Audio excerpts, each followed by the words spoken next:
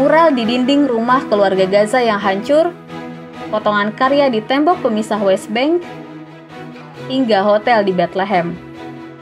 Banksy, seorang seniman jalanan Inggris yang tak diketahui identitasnya, diidentifikasi telah menciptakan karya jalanannya di Gaza dan West Bank, yang dikenal dengan West Banksy.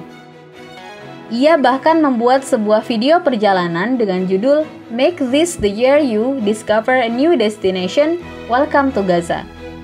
Video yang diposting pada 2015 tersebut masih mendapatkan respon hingga kini.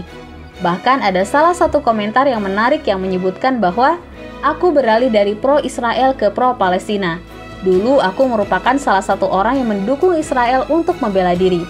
Tetapi setelah melihat gambar bukti nyata dari apa yang terjadi, Kini aku mendukung Palestina. Terima kasih, Bengsi. Apa saja karya jalanan di Palestina yang diidentifikasi merupakan karya Bengsi?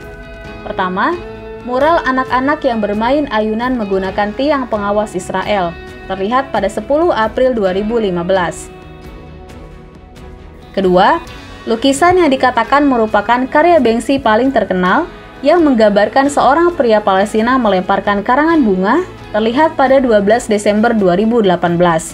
Ketiga, tulisan Banksy di dinding rumah yang hancur yang terlihat pada 10 April 2015 dengan tulisan jika kita cuci tangan dari konflik antara yang kuat dan yang tidak berdaya, lalu kita berpihak pada yang kuat, maka kita tidak netral.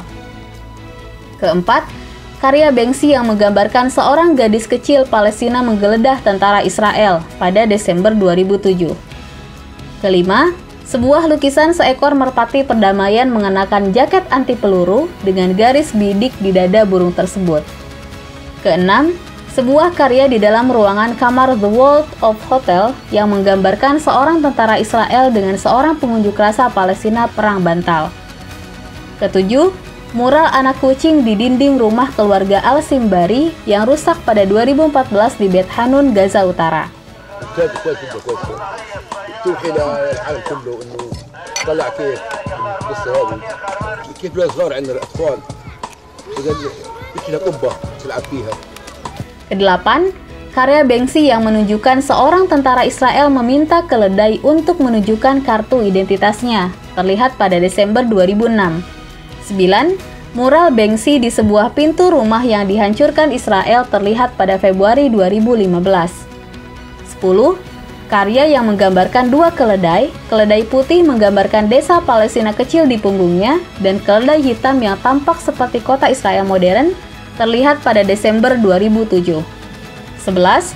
Karya Banksy di pintu masuk pengungsian Palestina di Bethlehem, terlihat pada April 2019, dan karya-karya lainnya.